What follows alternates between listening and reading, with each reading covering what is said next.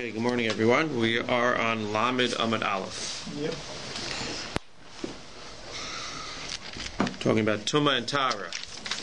Always fun. I think I'm going to start planning my vacation around uh, when the uh, Daf Yomi is up to Tuma and Tara. Unfortunately, I get I get asked uh, last minute, so I don't uh, I don't get to plan in advance. But uh, Amaravasi, Amarav, Amri la Amaraba Baran Isi Amarav, Lamed Amad Aleph. Fifth line. Can you shut the door, please? That would be great. Thank you. So Ravasi says in the name of Rav, and some say Rabba Benisi says in the name of Rav. You have Meir, Rabbi Yossi, Rabbi Yeshua, Rabbi Elazar, Rabbi Eliezer, Kulu Sviralahu, De'en Sheni, Osa, Shlishi, Bechulin. So we have an argument today. We know that we have a Sheret, you have an Avatuma. That makes somebody a person or an object of Rishon Latuma. Chulin and Meiser Sheni can become a Sheni Latuma. Truma can become a Shlishi Latuma. And Kodesh can become a Revi Latuma.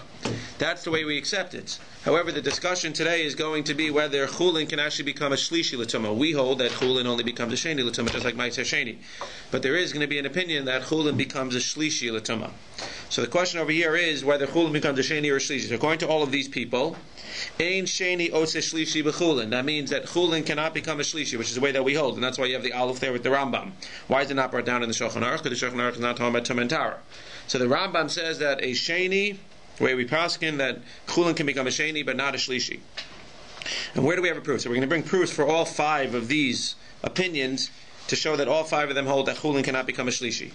Rabbi Meir did not Rabbi Meir because it says in the Mishnah, Kol haton bias mayim midivrei sofrim. Anything that requires the mikvah midirabanan. That means anything, as Rashi says, that's tahor midiraisa. And the Rabbanan say it needs to be brought to a mikvah midirabanan. And he gives an example of yadayim. Yadayim sheyitzrichim tvila. Yadayim that have to be washed. So all of those, says Rashi, the Gemara is saying, all of those are considered to be sheni latuma. So you have hands which are sheni latuma. So sheni latuma is mitame es hakodesh, uposel es hatruma, umutter bechulin of emaiser Meir. So there you go, Remeir right off the bat, very easy. You see that if you have a sheni latuma, mutter bechulin emaiser. If you touch chulin, which is what we want to concentrate on, if you touch chulin or maiser, maiser sheni, with hands that are sheni latuma, they're mutter because they don't become a shlishi l'tumah because chulin doesn't become a shlishi l'tumah. V'chachamim osim de meiser and chachamim oser b'meiser as Rashi explains, they're they're oser the meiser to be eaten when it's touched. It doesn't become a shlishi l'tumah, but they're oser the meiser to be eaten. But the chulin, if it's touched, so not only does it not become a shlishi l'tumah, it also can be eaten. But that's just in terms of eating. But even the chachamim seem to agree that a chulin cannot become a shlishi l'tumah. Now, just what does it mean mitame sakodesh uposel What does it mean mitame and posel? Anybody? Posel means you can't eat it, but it's um, it can't get too much anything else. Good. So posel means it's done, but the buck stops here. Matame means it becomes tame and it can be matame other things. So by definition, chulin we would say is posel at the sheni level. Because now it becomes posel, but it can't be matame other things, and it can't be matame itself because it can't become a shlishi.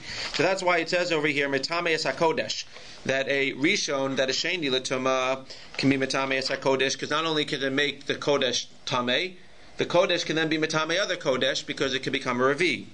But it's posel as truma because once it makes truma into shlishi, the shlishi can no longer become a revi. Truma cannot become a revi. Therefore, truma is considered to be posel at the shlishi level, and kodesh is considered to be posel at the revi level. And chulin is considered to be posel at the sheni level. And over here, we see that mutter bechulin, that if a sheni touches chulin, it's going to be mutter, because again, chulin cannot become a shlishi latoma. So we have our proof right there.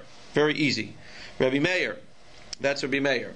What about Rabbi Yossi? Rabbi Yossi Hadamar. Now, if you remember, I don't because I didn't do that daf, but I went to look it up. But Rabbi Yossi says that there's a whole kal vachomer that we learn. So he learns that you learn everything from a kal vachomer, sheni shlishi So they say very simply, there's a problem. If you're going to tell me that a chulin can become a shlishi, then what does that mean? That means that truma, which is the next level, can become a revi, and that means that kodesh can become a chamishi, which is a no-no. So it's just a matter of logistically, you can't push everything down one, and therefore a chulin by definition can only become a sheni. The other one can only become a shlishi truma, and kodesh can only become a revi. Because if you made chulin into a shlishi, then truma would be a revi, and then kodesh would be a chamishi. Rabbi Yossi dim b'truma v'chamishi b'kodesh. Because if it was true that he felt that chulin can become a shlishi, then he should have said that it revi that a truma becomes revi and kodesh becomes a chamishi, which we know he doesn't hold, and therefore shalom al Yisrael. And you see that he holds that sheni chulin can become a sheni, but not a shlishi. Rabbi Yoshua, where do we see that Rabbi Yoshua holds that chulin can only become a sheni, not a shlishi? He did not. Rabbi Eliezer, Oimer ha'ochel, ochel, rishon, rishon, sheni, sheni, shlishi, shlishi. Says the Gemara, says Rashi on the right side, six lines down. Ha'ochel on the six lines from where we are. Ha'ochel ocha rishon, chatzi pras me'ocha rishon, nase gufo rishon. If you eat something that's a rishon l'toma, you become a rishon. If you eat something that's a sheni l'toma, you become a sheni. If you eat something that's a shlishi l'toma, you become a shlishi.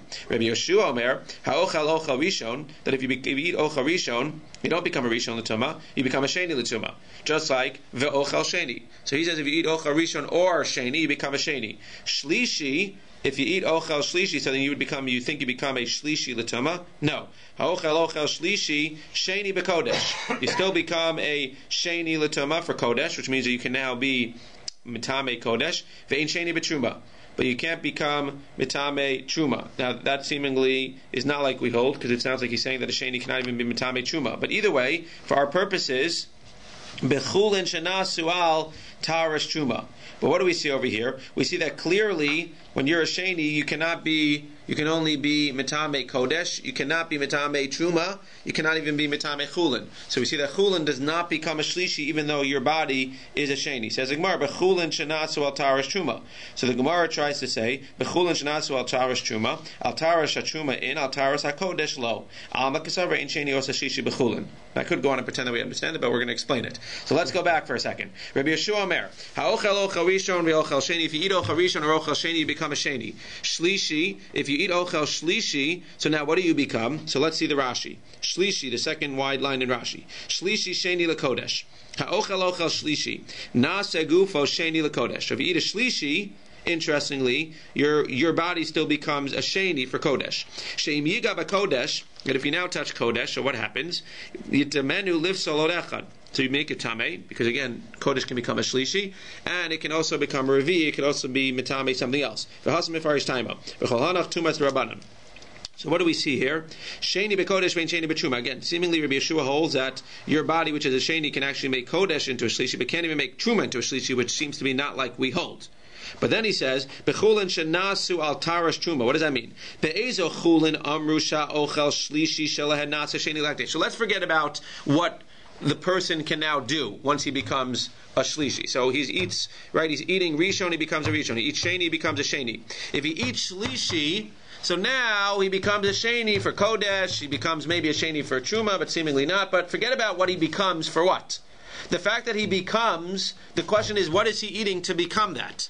So he's eating a rishon. It can be anything you want. Make it up. Truma, kodesh, chulin. Because everything, everybody agrees that those can all become rishons. The question is, when we say that he eats a sheni, so the sheni can also be. It can be chulin, meiser sheni, kodesh, truma, anything that's a sheni latuma. The question is when it says bishlishi that he eats a shlishi and by eating a shlishi he becomes a sheni for kodesh. What's that shlishi that he's eating? So we might think that the shlishi that he's eating is what? Is kodesh, is truma, is chulin.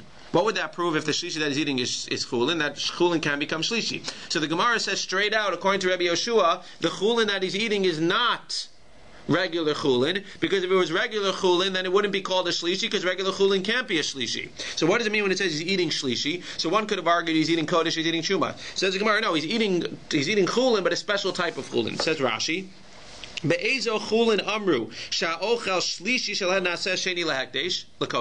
Which chulin is he eating that we're calling this chulin a shlishi? Not regular chulin, but chulin shenasu al taras truma. It's a special type of chulin that was guarded over by who? By the kohanim. Shabalei kohen viragil betruma. A kohen eats truma, and he has to be kodesh, and he has to be tar, and the truma has to be tar. So he guards over the truma. So he's careful about his truma, but he's also careful about his chulin. V'kiba of lecho chulin shalo betaras truma kadesh ragil l'trumosa betaras kukalahen. So he goes ahead and he's very careful with his chulin. So for whatever reason, which we're not going to discuss, that chulin, the special chulin of the kohen, can become a shlishi The point is that what the Gemara is saying here is that this special chulin can become a shlishi, and therefore it says when you eat a shlishi, you become a sheni. But that's only chulin. That's a chulin of a kohen which he's very careful to guard. But what does that imply? That implies Rabbi Yeshua holds that regular shlishi, that shlishi which is regular chulin, there is no such thing as shlishi which is regular chulin, because again, chulin can't become a shlishi. If chulin can't become a shlishi, we have our proof for Rabbi Yeshua. That Rabbi Yeshua holds that chulin cannot be a shlishi. Altaras hachuma in. It's talking about chulin which has been guarded like truma. Altaras hakodesh lo. So Rashi, interestingly, if you look over there, Hachi Garcinon, Altaras Truma in. What does it mean, Altaras Hakodesh Lo? What should it say? Altaras Truma in, Chulin Greedy Lo. Rashi changes the gears there. Chulin Greedy Lo. Because we're talking about, we're not talking about Truma and Kodesh, we're talking about Truma versus anything else. We're talking about how do we treat this chulin of the Kohen. Either you're talking about Taras Truma in. We're talking about that we treat it like Truma, and therefore it could become a Shlishi because he's guarding it. But al regular Chulin greedy low. That's how you read the Gemara. Bechulin Shnas Taras Truma. Al Taras Truma in. Al Chulin greedy low. Regular Chulin cannot become a Shlishi. That's not what he's talking about because it can't become a Shlishi. You see over here that he's definitely talking about this special type of Chulin. This special type of Chulin that can become a Shlishi. Regular Chulin cannot become a Shlishi, and therefore you see Rabbi Yeshua holds a regular Chulin can't become a Shlishi. Alma Kisavar Ein Sheni Otza Shlishi Bechulin. You see clearly that he holds that chulin cannot become a shlishi unless it's a special type of chulin that the Kohen's guarding, then it can become a shlishi. Good? Rabbi Elazar. Again, we are have a list in the top of the page of five people that hold that chulin cannot become a shlishi. So we already told you Rabbi Meir from B.S. Mayim, Midivrei Sofrim. We already told you Rabbi Yossi. We proved to them from the Kavachomer, and we just proved to you from Rabbi Yeshua that he holds Chulin can become a Shlishi. Where do we see that Rabbi Lazar holds that Chulin cannot become a Shlishi? Detanya. Rabbi Lazar Omer, Shlosh Dan Shavin. All three are equal. What does that mean? That means Chulin, Truma, and Kodesh can all become a Rishon. Everybody agrees that all those can become a Rishon. True everybody agrees that all those can become a Sheni. Harishon, by a rishon, shebe kodesh, shebe chulin, shebe truma. All of these can be a rishon, obviously. Chulin, kodesh, truma. Everybody agrees. What do they do? Mitame shnaim. They're mitame two other things. What are they mitame? They're mitame chulin and truma uposel echad bekodesh, and they can be posel echad bekodesh. Now again, we said that mitame means it can continue the line uposel echad. So if you have rishon letumas, what could it do? It can make a sheni and a shlishi, which can then, if it's the right thing, be mitame other things. Let's say it's kodesh. If you make a kodesh a sheni or you make a kodesh a shlishi, it could still be mitame other things. So it's mitame two things, sheni and shlishis, but it's posel one thing. It's posel revis because again, revi the buck stops here. Mitame echad Uposel echad betruma. By truma, it can be metame truma once, because again, it can make a sheni, which can then be metame truma for a shlishi. But posel echad betruma, but once it gets to the shlishi, the truma, the buck stops here. Uposel echad bechulin. But by chulin, a rishon letuma is posel. This is what we need. Rishon letuma is posel chulin. What does that mean by definition? We say that a rishon letuma is posel chulin, what does that mean? The rishon is posel chulin. It makes the chulin tame, but it's not metame chulin. If we said that it was metame chulin, that means that the rishon makes the chulin tame, and then the chulin can go ahead and make something else tame, i.e., other chulin, which would mean that it could become a shlishi. The fact that we see clearly for our purposes, again, this is what we're concentrating on. The fact that we see that Rabbi Eliezer says that a rishon letuma, whatever it is, is posel chulin. It means a rishon letuma can be metame chulin, but it's not metame chulin. It's posel chulin. Once it touches chulin, the chulin becomes tame. I agree, but it's not metame chulin. Metame, the lashon of metame means that that chulin can now be metame something else, other chulin, i.e., make it a shlishi. That's not what it says. It's posel chulin. A rishon is posel chulin. The chulin becomes tame as a sheni letuma, but the buck stops here. And by definition, when we say posel, it means that that becomes uh, tame, but now it cannot be metame anything else. It can't be metame chulin. Other chulin to make it into shlishi, and we see clearly Rabbi Yeshua holds that chulin cannot become a shlishi. If you're just walking in now, you walked in at the worst part because this is the hardest part. Rabbi Eliezer, you might want to walk out and come back in like three minutes. Rabbi Eliezer, you could just pretend, or you could just close your eyes, whatever. If you're one of those, Rabbi Eliezer did none. Start over again. The question is, if you close your eyes during Daf Yomi, is it considered as if you learned the whole thing? That's a question. Okay, just being in the room, you you uh, you get it through osmosis. Okay, Rabbi Eliezer did none. So Rabbi Eliezer holds as follows. This is the hardest one. Rabbi Eliezer holds. Where do we see the Rabbi Eliezer holds? Again, all the other four were very clear. Tumantara, we can take care of that, no problem. But Rabbi Eliezer is the hardest one for Tumantara. So Rabbi Eliezer says that again, we're trying to prove that Rabbi Eliezer holds that a chulin cannot become a shlishi l'tuma, only a shein l'tuma. Listen to what he says. I'm going to say it outside for a second. You have two, um, you have two loaves of, un, uh, of, of unbaked bread. You have two challahs that your wife got. One of them, unfortunately, is tameh, one of them is tahar. You bought them in Sobeys. One of them, the package was opened. One of them was tame, one of them was tara. Fine. You have to separate challah from the thing, assuming you have to separate challah. If you make enough, let's just, I'm using the example of buying, but let's say you make your own challahs, and now you got to separate challah. So you have two challahs you got to separate challah from. The question is, can you separate challah from the tahor one for the tame one? For whatever reason, you don't want to separate challah from the tame one, you want to just separate t- from the tahor one for itself, and you also want to separate challah from the tahor one for the other ones. Right? This happens when you make actual challah and you go ahead and you make different loaves. So people ask me sometimes, you're supposed to separate challah before you bake them. If you after you bake them, you still have to separate challah. So you separate from one loaf. You don't take off. If, if you make 20, uh, 20 challahs, you don't take off from each challah. But the question is here: you have two challahs. And yeah, you have a tummy one and a tar one. Can you separate from the tar one, not just for the tar one? Can you separate from the tar one for the tummy one as well? So the Gemara is going to come up with a very interesting suggestion. What you need to do is, if you want to do that, you can't just separate from the tar one for the tummy one. You need to take a piece of the tar one, connect it to the tummy one, and then separate that piece from the tummy one. There's only one problem. You can't take the tar one and connect it to the tummy one because what's the status of that piece once you took it off the tar one? If when taking it off the tar one, before it actually became challah, it has the quasi name challah because it's soon going to become challah, then there's a certain um, uh, there's, there's, there's, a certain uh, kedusha to that, and when you touch it to the tame dough, then that challah is going to become tummy. A regular piece of tahor dough that touches a tummy dough, no, no, what's the big deal? Okay, you made it tummy, but we eat tummy dough all the time. But if you're taking something that's going to have the same challah, or even doesn't have the same challah now, but you know that basically you're connecting it to the tummy dough to make it into the same challah, so you could take it off as challah. So now the question becomes, can you actually take that quasi tahor dough? Which is again not the fact that it's Torah, the quasi challah dough, that the dough that's that you know it's going to be pulled off as as, as challah, that's going to be ta, that's going to be kodesh. Can you take that and connect it to the tamei dough, and then go ahead because you're sort of like uh, being mechalel kodesh. So the Gemara is going to come up with a crazy suggestion. I don't want to say crazy; it's just hard to understand. It's going to come up that what do you do? You take a piece of tahar dough, as we'll see in a second, and you make a bridge between the tamei dough and the challah. So you're going to take two pieces off from the tar dough. And again, as the is going to explain, this is all before you took off challah from the tar dough. If you take off challah from the tar dough for itself, you blew it. So you don't take off challah from the tar dough. You have a tar dough and a tamei dough. You want to go ahead and take off from the tar dough for the tamei dough. So what do you do? You take off a little piece of just bread regular bread. You're not you're not saying that it's challah. You take off a little piece of bread from the tar dough and you connect it to the end of the tamei dough.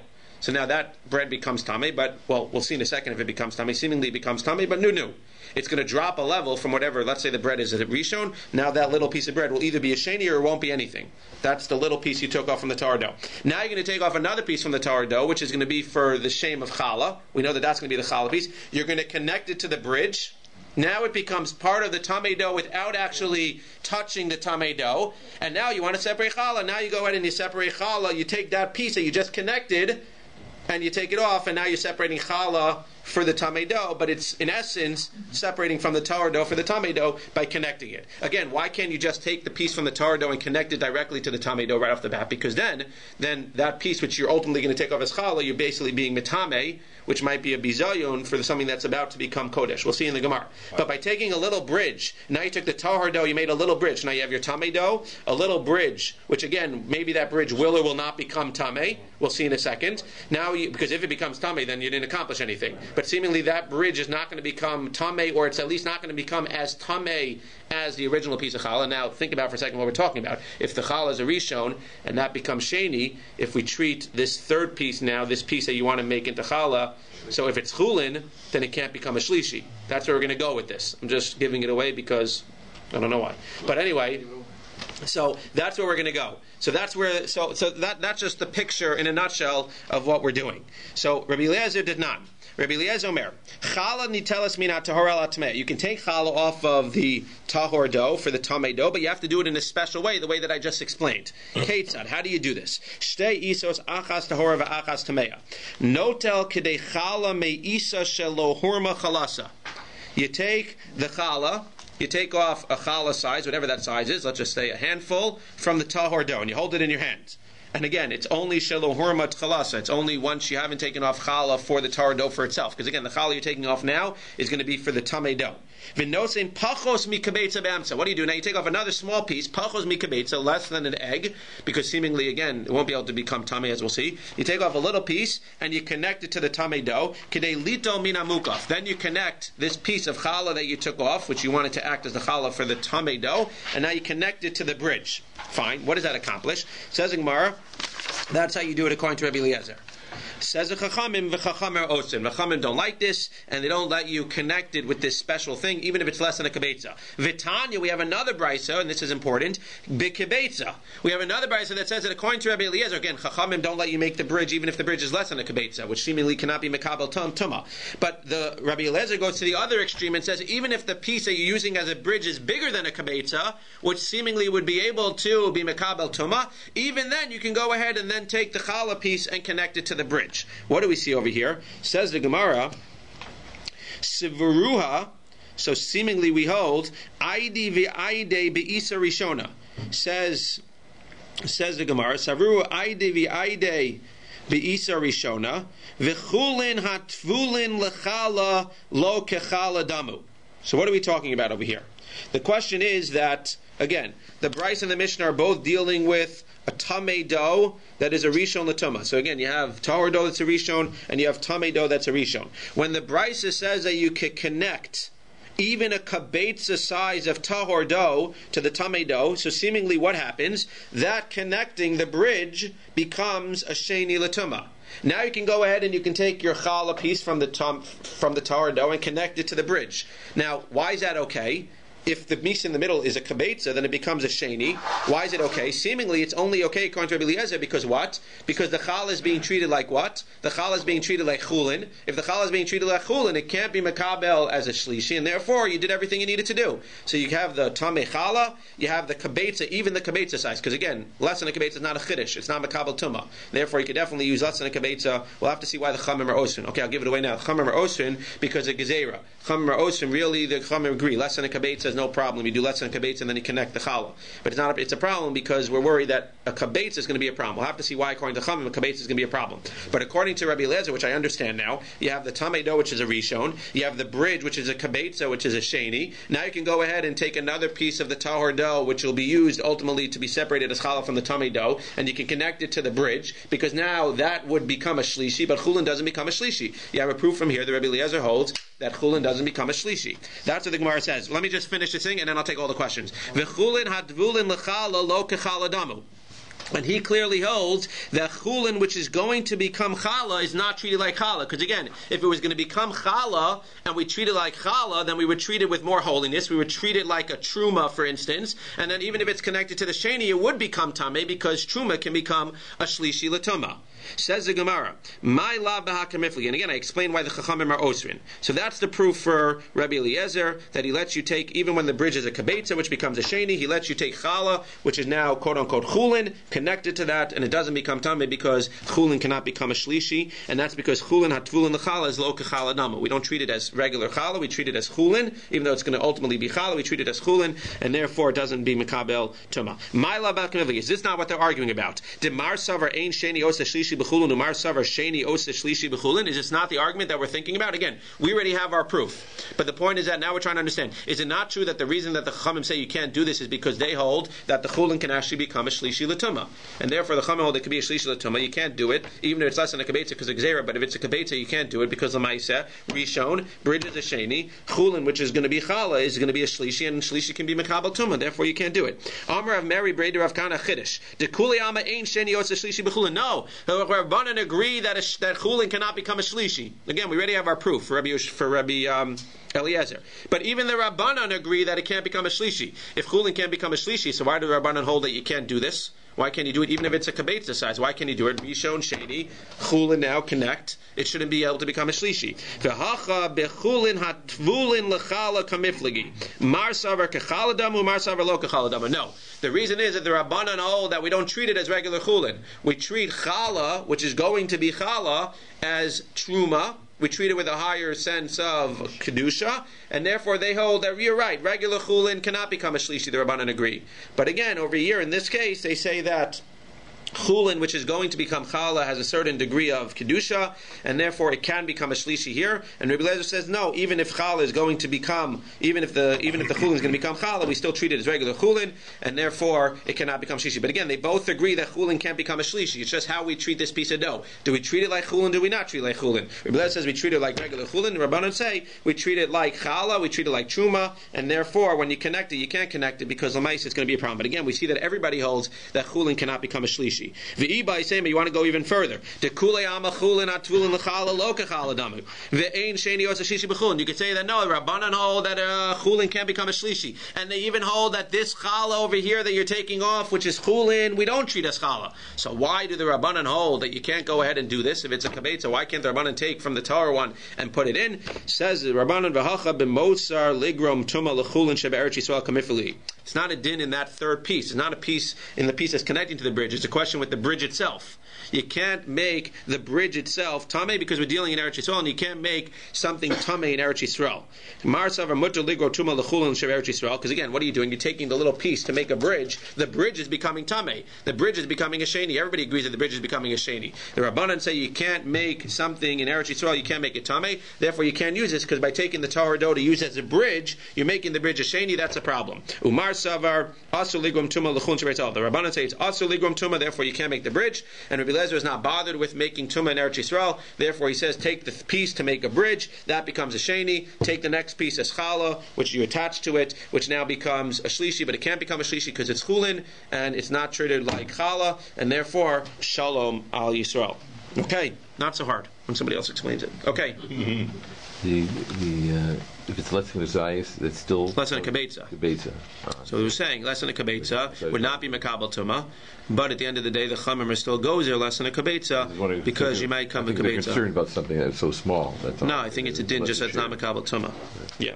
Okay, but again, we have five proofs. So that chulin. So if you walk away not understanding anything, at least understand that chulin, according to all five of these people, chulin cannot become a shlishi latuma. Okay. Now it's the easy part. Bo bayom darash Rabbi Akiva. So Rabbi Akiva says, what are we talking about over here? So if you remember that the Mishnah said that Rabbi Akiva holds, everybody agrees that Levium get a thousand amos outside of the city. So they get a thousand amos. And then the question is, there's another two thousand amos. The Torah says that they get alpayim ba'ama. It's like that weird, I forgot what it's called, that weird note in the Torah where it's got the, what is it? Yeah, you want to please, uh, you want to, you want to do how, how, how do we do it? Somebody asked me, see, fake it up. Fake it off. Okay, please. We'll hire you as my. Remind me that when, when my son's a bar mitzvah, I shouldn't hire you. Okay. Just fake it off. No problem. Tell the truth. No one else. You tell the truth. Nobody else tells the truth. Okay. Nobody knows on the tape what we're talking about. But my kamifligi. So what are they arguing about? So you have the thousand amos, then you have the extra two thousand amos. So the extra two thousand amos is a machlokes. Rabbi Akiva says that the extra two thousand amos for the Levim. What does that mean? That's the two thousand amos for Tchum Shabbos. And then the other opinion, Rabbi Eliezer holds no. The extra two thousand amos is not for Tchum Shabbos. Shabbos. The 2,000 Amos is actually for the Levium's plants and uh, fields and vineyards. If I was a Levi, I would obviously agree with Rabbi Eliezer. It gives me 2,000 extra Amos for my fields and my vineyards, not just a Tchum Shabbos. What are they arguing about? Says the Gemara, Mar Savar Tchumen Deoraisa. Rabbi Kiva holds that Tchumen are Deoraisa. The din of Tchumen is Deoraisa. Therefore, what? The Torah tells us the 2,000 Amos to teach us that you have 2,000 Amos for Shabbos. Well, according to the other opinion, Mar Savar Derabanan. The other opinion, Rabbi Eliezer holds that Tchumen are Derabanan. If Tchumen are Derabanan, then the 2,000 amos in the Torah ain't talking about Tchumen because it didn't come till the rabbis made it up. If that's not talking about Tchum Shabbos, the 2,000 amos, and what's the 2,000 amos talking about? It's talking about 2,000 amos that the Levium get for their fields and their vineyards. Tanu Rabbanan. Bo bayom darash Rabbi Akiva. Bishar she'olu Yisrael min hayam Nasnu Eineim Lomar Shira. When the Bnei Israel came from the Yam, they went to say Shira. Vekeitzad Amr Shira. How did they say Shira? This is a famous Gemara. Kigodol HaMikra Sahalel Vehain Onin Achar Rashi Prokim. How did they say Shira? Like a Gadol. Well, when a Gadol says something, let's just use Kiddush as an example, everybody can be Motzi by answering Amen. When a Gadol says something, you can be Motzi with them, you just answer something to their bracha or to their phrase. So it was like a Gadol who would read Hallel, and they would read after Rashi Prokim, right? The Rashi gives an example that nowadays would be the equivalent of Hallel. Everybody's saying right, the Chazan reading Hallelujah, and everybody and, and, and, everybody at the end of each paragraph yelling out Hallelujah. So over here, that's what they did at the Yam also. That the that Moshe Amar Ashir al Hashem. What's this pasuk? We say it every day. Az Yashir Moshe v'nei Yisrael Hashira Zos Hashem vayomru more. What did they say? Ashir al Hashem ki ga'o sus v'rachor So what would happen? Moshe would say Ashir al Hashem v'heimomer Ashir al Hashem. Moshe would continue Moshe Amar ki ga'o Kadosh Baruch Hu was exalted. And what did they answer? They always answer the same thing. Hallelujah. Ashir el Hashem. Omrim Ashir Hashem. He would say, Sus amavayam. And what did they answer? Ashir el Hashem. That was the opinion of Rabbi Akiva. Rabbi Lezer ben Rabbi Yosef ben Galileo, Omer, no, that's not how they did it. They did it like a katan hamakrat How does a katan read? Well, when a katan reads what does he do? He says something, and then you can't just say Ashir el Hashem. You can't just say Amen. You can't just say Hallelujah. What do you have to do? It's a katan. It can't be motzi. You need to repeat after him. He says something and you repeat after him. Moshe Amar Shir Amar Shir. So they agree on that part. Moshe Amar Kiga Oga. So Rabbi Akiva says that they'll scream out Ashir Hashem. No, he can't be Motzi them. They have to repeat Veheinomim Kiga Oga. Sus V'Achor Mavayam. Moshe says, and the people call out So they basically repeat word for word. Rabbi Nechemia Omer no. Kisofer haporis hashma beis knesset. No, they didn't even do that. They did like a chazan in the beis knesset. What does he do? It's like you ever daven with the Sfardim. What do they do? So the Sfardim, the guy starts a paragraph and then they say everything together. It's not that the chazan says something and then they repeat it. It's that the Chazan says it, he just starts a paragraph and then they say everything together. Biyachad, as Rashi says. So those are the three opinions. That they said everything together, that basically Moshe Rabbeinu said Ashira, and as soon as he said Ashira, everybody started saying Ashir Hashem, and then they daven like the Sfardim, where they say every word out loud, which I really like. Thinking about converting one day, we'll have to talk about it. Then Rabbi Eliezer holds that you that they would answer word for word whatever Moshe said, and Rabbi Akiva says that they would always answer the same thing, Ashir Hashem. Rav Akiva. So what are they arguing about? Well, it's based on the psukim. Because what does the pasuk say? Az yashir Moshe v'nei Yisrael sashira zos lashem vayomru lemor. It seems to be extra words. This is what they're saying. Vayomru. What did they say? They said lemor, saying. What does it mean? They said saying. They said saying. Somebody said and somebody else said. So what does it mean by Yamru Lamor? What's Lamor? Rabbi Kiva Savar Lamor. What does Lamor mean? Amilsa Kamaisa. Lamor, the people said Ashir Hashem for everything. He would call out Ashir Hashem, they would say Ashir Hashem. He would say Kiga Oga, ah, they would say Ashir Hashem. Rabbi Eliezer ben Rabbi Yosef Glili, who says that they didn't say Ashir Hashem every time, they repeated what Moshe said every time. Savar Lamor, Akol Milso Mils. When it says Lamor, it's not just going on Ashir Hashem, it's going on Ashir Hashem, it's going on Kiga Oga, it's going on Susvarach Mavayam. That they repeated word for word or every two, three three words they repeated from Moshe Rabbeinu. For Reb Nechemia, who says that what? That they didn't repeat anything, they just said it all biyachad. Savar, he concentrates on the Vayomru. Vayomru de Amr Kula Bahade Adade. Lamor, what does it mean Lamor? De Pasach Moshe Beresha. Resha, that Moshe started, but Lamaisa, they all said it together. Those are the three opinions on what happened at the Shira. How do they know what to say? Seemingly they knew. Huh? Interesting. That's Rosh Kodesh. That's, that's the three levels. It depends on what intensity. Ah, Rashi says four lines down. Thank you. V'kach shar saruach hakodesh al kulam v'kivnu yachad im ashira kichsava. Baruch Hashem, we have uh, Talmid Chacham in the shir with us. Okay, Tani Rabbanan, Darash Rabbi Yossi HaGlili. Rabbi Yossi HaGlili says, "B'shosh Ol Yisrael." This is a famous Gemara. B'shosh Ol Yisrael minayam nanu einam lomar shira. V'ketzad amar shira. How do they say shira? Olal mutal abirka imo. Even a infant that was resting on their mother's knees. V'tino gioneg mishteimo. Even a baby that was breastfeeding. Kevan Sharos Hashchina, when they heard the Shechina, when they saw the Shechina, Ola Libiyat Savaro, the infant popped up. V'tino kshamat Dad mipiv, he, he stopped uh, he stopped feeding. For Amro, even the kid said Zek Keli Vanveyu. Where do we see this? Because it says in Tehillim, Shanamar mipi olalim v'yonkin isadita oz that Hakadosh Baruch Hu's might was established even from the mouths of olalim v'yonkin. That's what Rabbi Yosef Lila says. And now you may have heard this also. Rabbi Meir Omer. How do you know that even the fetuses in their mother's womb said Shira? Shenamar, because it says in the pasuk, b'makelos, as it says in Yeshaya, b'makolos baruch elakim Hashem mekor Yisrael. That with the assembly, what's the assembly? Says Rashi, kishenikalu al yam, when they assembled on the yam, baruch elokim Hashem. Everyone blessed Elokim Hashem, Mimekor Yisrael. Even from the Makor, even from the womb, even the ones that were in the Ubrim Shebemei Iman, they also blessed HaKadosh Baruch Hu.